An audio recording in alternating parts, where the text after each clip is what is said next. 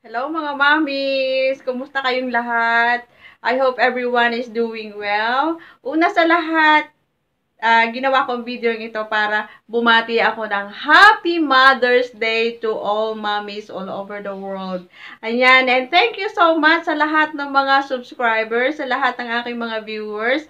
Thank you so much sa panonood ninyo ng aking vlogs on my YouTube channel. So, sa mga hindi pa po nakakaalam, pwede po nyo kayong manood ng ah, aking ah, vlog on my YouTube channel. Ah, just look for Ma'am Zilis. Yan lang po. At ah, makikita nyo na yung aking ah, YouTube channel. At sana ah, marami pang subscribers na dumating para sa aking YouTube channel. Thank you so much. Thank you. And um, Happy Mother's Day again. And I love you all. God bless. Hello, good morning mga mommies. Nandito ako ngayon sa uh, Walmart na bumili ako ng beef, uh, pang roast beef para sa Mother's Day tomorrow. So, magsa-celebrate kami ng Mother's Day tomorrow sa bahay ni na Donna, doon sa anak ni Daddy Barry na isa. And kasama din ang isang anak niya na uh, si uh, Belinda at yung mga anak niya. So, tomorrow, doon kami mag, uh, magla-lunch for the celebration of Mother's Day. So, that's a special celebration. And maaga ako nagising kanina umaga, mga momshies. Maaga kasi ako nakatulog kagabi at napagod ako sa long day namin sa shopping and nag-dinner kami doon kina, kina Ron and Barbara. So, medyo napagod ang lola. So, maaga nakatulog. So, maaga rin ako nagising. And si Barry is, uh, si Daddy Barry ay umalis. Pumunta siya ngayon sa sa golf. Naglalaro siya ng golf ngayon. So, ang sabi niya sa akin is, ako na lang daw yung bumili ng gagamitin namin bukas para mag, uh, magluto kami ng roast beef. So, andito ako ngayon na maaga kaming gumising, maaga kaming nakapag-breakfast at um, uh, naglaba ako ng konti.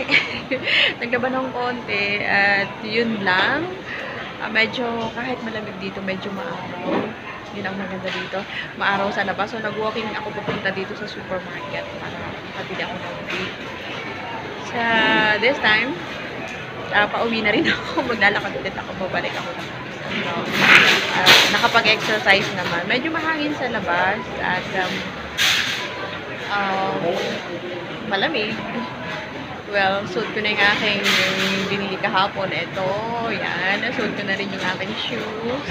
And uh, this time, marami na rin mga tao dito. Ayan, nakikita ninyo. So, open na lahat ang mga shops, mag-ooperate na sila. Pero yung mga sa mga pagkain, mga restaurants, um, karamihan take away pa rin.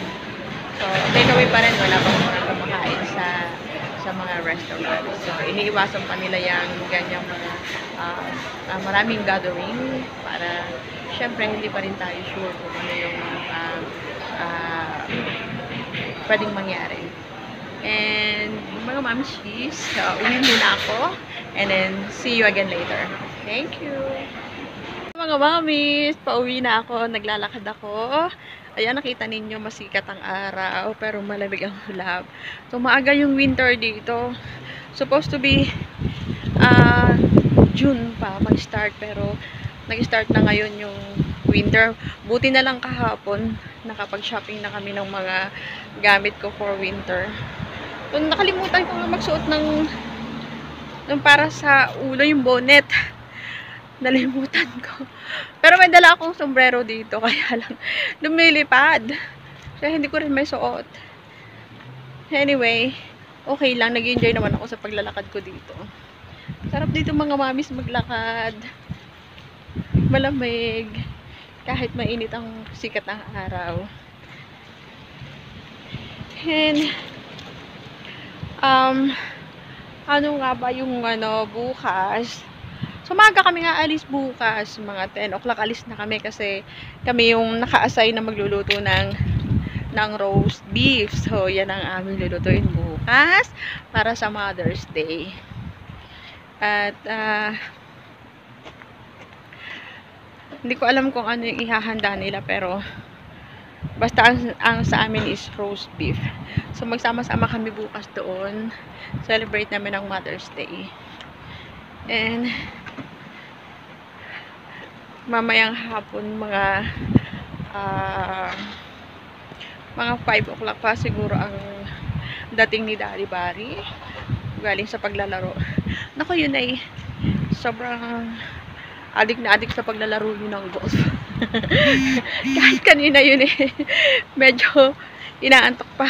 Bumangon na talaga siya kasi kailangan niyang pumunta dun sa paglalaro. So, naglalaro lang naman siya every Wednesday and um, Saturday. Yun lang. Pero, minsan, may mga araw na biglaan din na nakakapaglaro din siya ng ibang araw. Kagaya ng Tuesday or Thursday, ganyan.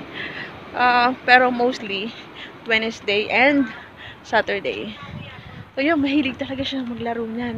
Uh, minsan, nung kami nakakalabas pa ng, uh, ng bahay, um, inano kami niyan. Minsan sinasama niya ako dun sa sa golf club. Dun kami nagdi-dinner, kasama ng mga kalaro niya dun, pati yung mga asawa ng mga kalaro niya, kasama namin dun. So, hopefully, this time next week or sa mga susunod na panahon eh, uh, balik na ulit kami sa dating uh, gawi. Kasi dati, uh, madalas kami doon nagdi-dinner. Pero nung ngayon sabi niya, close pa rin daw yung club. Yung golf club. Sarado pa kaya hindi pa kami makapunta doon. So masarap din yung mga pagkain nila doon. Nakatuwa. Ah, mga mamshis, uh, maya ulit tayo magkuntuhan. Lumalapit na ako dun sa kanto namin eh. Ngalay na yung kamay ko, hindi ko nadala nga aking selfie stick. Bye-bye! Mami, dito na ako sa bahay. Mag-iinit muna ako ng pagkain ko at ako ay kakain muna ng lunch at nagugutom na ang lola. So, meron ako dito ng chicken. So, yeah, roast chicken.